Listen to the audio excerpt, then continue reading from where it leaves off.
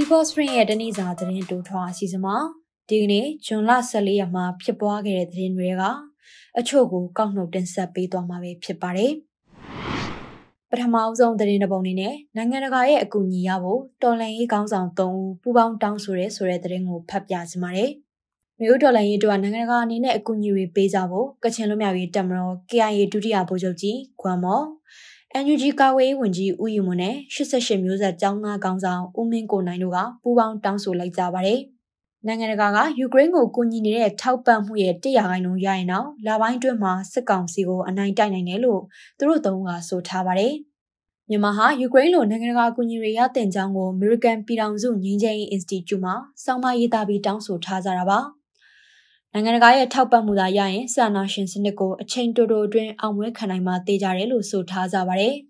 ။လက်ရှိတော်လှန်ရေးဟာမြန်မာနိုင်ငံရဲ့ငြိမ်းချမ်းရေးဒီမိုကရေစီအရေးနဲ့လွတ်လပ်မှုတွေကိုဆောင်ကျဉ်လာမဲ့နောက်ဆုံးခွင့်ရလည်းဖြစ်နိုင်တယ်လို့ခေါင်းဆောင်သုံးကနိုင်ငံတကာကိုသတင်းစကားပါထားပါတယ်။ NUG အစိုးရအဖွဲ့ဝင်ကြီးတွေကတော့နိုင်ငံတကာထံကနေလက်နက်အကူအညီမရသေးဘူးလို့ပြီးခဲ့တဲ့လပိုင်းတွေကဆိုထားကြပါတယ်။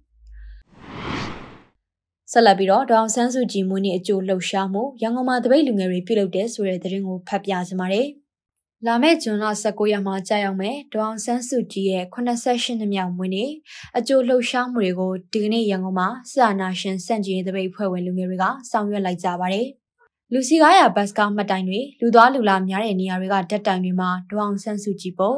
အရှုံးမပေးနဲ့မိငယ်ရေးဆိုတဲ့တခြင်းစာသားတွေကိုဒီကနေ့မှရေးဆွဲကြတာပါ။ ဒီနှစ်မှာကြာရောက်မဲ့မွေးနေ့ဟာဒေါအောင်ဆန်းစုကြည်ရဲ့အသက်88နှစ်ပြည့်မွေးနေ့ဖြစ်ပါတယ်။တကြော့ပြန်အာနာသိမ့်မှုမှာထောင်နဲ့နှစ်30ကျော်မတရားဖမ်းဆီးထောင်ချခံရတဲ့ဒေါအောင်ဆန်းစုကြည်ဟာ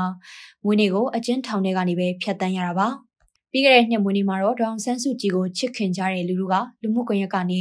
မွေးနေ့ဆူတောင်းပေးတာမြေပြင်မှာလည်းတပိတ်လူငယ်တွေကမွေးနေ့လှုပ်ရှားမှုဖြစ်ဆောင်ရွက်ကြတာတွေရှိခဲ့ပါတယ်။ နောက်ထပ်သတင်းတစ်ပုဒ်အနေနဲ့အာနာသိန်းကာလအတွင်းလူနေအင်ဂျီ9000ကျော်မိရှို့ခံရတယ်ဆိုတဲ့သတင်းကိုဖတ်ပြချင်ပါတယ်။အာနာသိန်းကာလနှစ်နှစ်ကျော်အတွင်းမှာနိုင်ငံတော်ဝန်ပြည်သူလူထုရဲ့နေအလုံးပေါင်း9000ကျော်မိရှို့ဖျက်ဆီးခံရတယ်လို့ Data for Myanmar ကစာရင်းထုတ်ပြန်ပါတယ်။စစ်တပ်ရဲ့မိရှို့တဲ့တံကိုအခမ်းအနားဆုံးဒေတာဟာစကိုင်းတိုင်းပဲဖြစ်ပါတယ်။ Data for Myanmar အဖွဲ့ရဲ့စီရင်ရစကိုင်းတိုင်းထဲမှာနေအိမ်9316လုံးမိရှို့ဖျက်ဆီးခံရတယ်လို့သိရပါတယ်။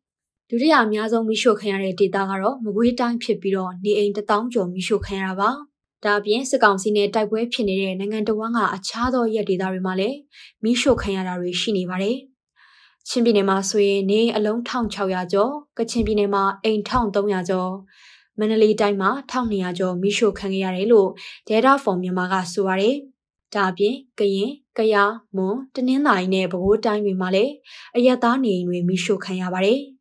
စစ်ကောင်စီခေါင်းဆောင်ကတော့လူနေအိမ်တွေကိုစစ်တပ်ကမီးရှို့တာမရှိဘူးလို့ညှင်းဆိုထားတာရှိပါတယ်။နောက်ဆုံးသတင်းတစ်ပုဒ်အနေနဲ့မြောက်ရီမှာတက်တူးဆိုင်မျိုးကိုစစ်ကောင်စီပိတ်ခိုင်းနေဆိုတဲ့သတင်းကိုဖတ်ပြချင်ပါတယ်။ထိုင်းမြန်မာနယ်စပ်မြို့ကရင်ပြည်နယ်မြောက်ရီမှာတက်တူးဆိုင်တွေကိုစစ်ကောင်စီကဖိအားပေးပြီးပိတ်ခိုင်းနေတယ်လို့သိရပါတယ်။အခုလဇွန်လ10ရက်နေ့ကစတင်ပြီးတော့ပိတ်သိမ်းကြဖို့စီပင်းနဲ့ရဲတပ်ဖွဲ့ကစထုတ်ပြီးတတိပေးနေတာပါ။ ဆိုင်ပိတ်ခိုင်းရတဲ့အကြောင်းပြချက်လည်းမပေးဘူးလို့မြောက်ရီမှာတက်တူးဆိုင်ဖွင့်ထားသူမျိုးသားတူကပြောပါတယ်။တက်တူးဆိုတဲ့နာမည်ကိုပါမမြင်ချင်ဘူးပုံကောအကုန်လုံးဖြုတ်သိမ်းခိုင်းတာဗျာလို့အဲ့ဒီဆိုင်ရှင်မျိုးသားကဆိုပါတယ်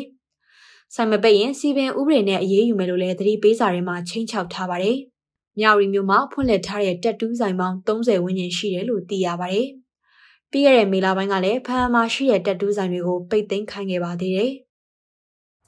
People's Spring ရဲ့တနည်းစာသတင်းတိုးထွားအစီအစဉ်ပဲဖြစ်ပါတယ်ရှင်။